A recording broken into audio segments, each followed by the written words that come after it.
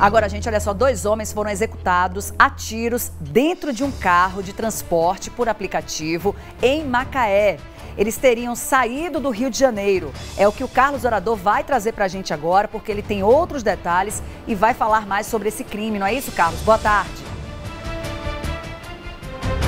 Exatamente, Ana Paula. Muito boa tarde para você também. Boa tarde a todo mundo que acompanha a gente aqui no Balanço Geral.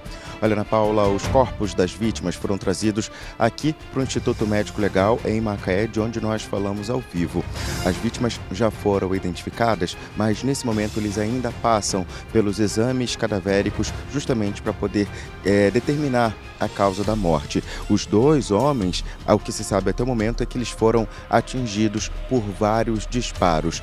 Bom, a família, né, acompanha as famílias das vítimas, acompanham esse processo aqui no IML, até mesmo para a liberação do corpo. As vítimas elas foram identificadas como Fredson Costa Ferreira, de 34 anos, e Marcos Vinícius dos Santos, de 26. Eu conversei com alguns familiares mais cedo, Ana Paula, sobre esse caso, mas diante né, do momento extremamente doloroso, as circunstâncias também como aconteceu esse crime e até mesmo pela falta de informações sobre a motivação desse duplo homicídio, eles preferiram não gravar a entrevista, até mesmo para se resguardar.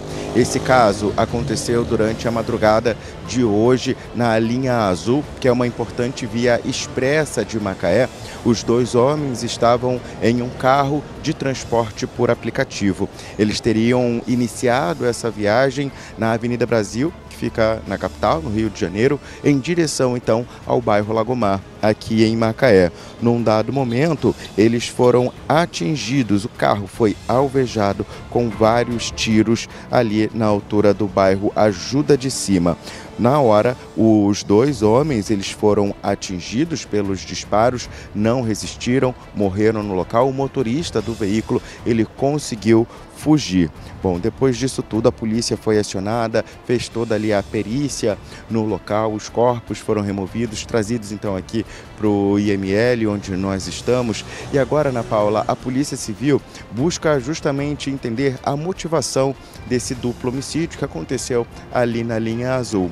Segundo informações da polícia, as primeiras diligências já foram iniciadas justamente para obter informações que possam né, levar à identificação dos autores do crime, a possível motivação também, mas isso tudo, Ana Paula, está sendo é, iniciado nesta, foi iniciado nesta manhã, então ainda as informações elas estão chegando. A gente, claro, acompanha esse caso porque afinal de contas é um caso bárbaro, um duplo homicídio. Há suspeita aí de que esses dois homens eles tenham sido vítimas, inclusive de uma emboscada. Mas tudo isso a Polícia Civil já está analisando, já está investigando justamente para poder poder é, fechar, concluir esse caso e entender o que de fato aconteceu, Ana.